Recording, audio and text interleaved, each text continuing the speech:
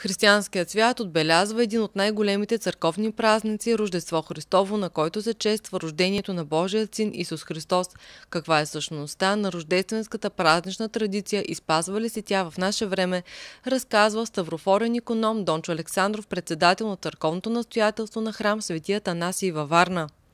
Мнозина със своята вяра в Христа превръщат традицията в нещо живо – като част от вярата и не остават чисти традиционалисти, което е изключително хубаво. Но в крайна сметка ние посрещаме Христос.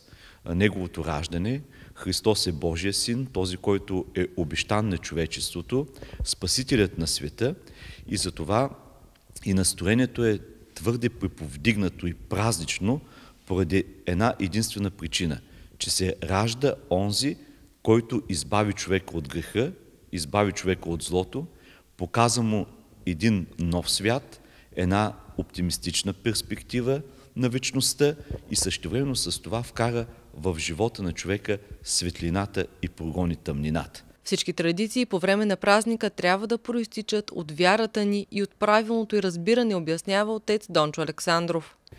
И да дадем приоритет на душата, а не на тялото т.е. да смирим малко тялото и да дадем възможност да размислим за духовните неща, да, да задълбочим връзката си с Бога, да задълбочим връзките си с нашия ближен, да можем наяве да изкараме любовта, мира и радостта, а да се борим с злобата, с осъдителния дух, да се борим с това да не отговорим на някои лоша дума с наша лоша дума. Вратите на храм Светия Танаси са отворени за всички миряни по време на празниците, когато ще има литургии за всеки един честван светия.